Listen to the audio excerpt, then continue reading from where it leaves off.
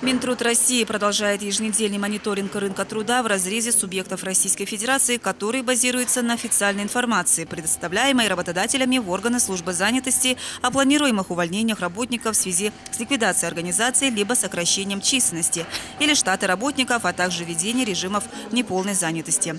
С 28 февраля по 7 марта этого года численность безработных граждан, зарегистрированных в органах службы занятости, снизилась на 0,5% и составила 799 280 человек.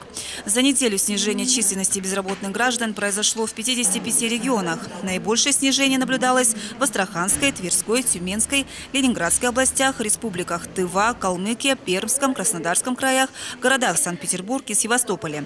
В 27 регионах отмечен рост численности безработных. Наибольший рост наблюдался в Чукотском, Ненецком автономных округах, республиках Ингушетия, Татарстан, Московской, Тамбовской областях, Камчатской Камчатском крае.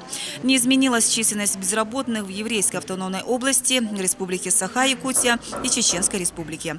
По состоянию на 7 марта суммарная численность работников, находившихся в простое по инициативе администрации, работавших неполное рабочее время, а также работников, которым были предоставлены отпуска по соглашению сторон, составила 117 640 человек.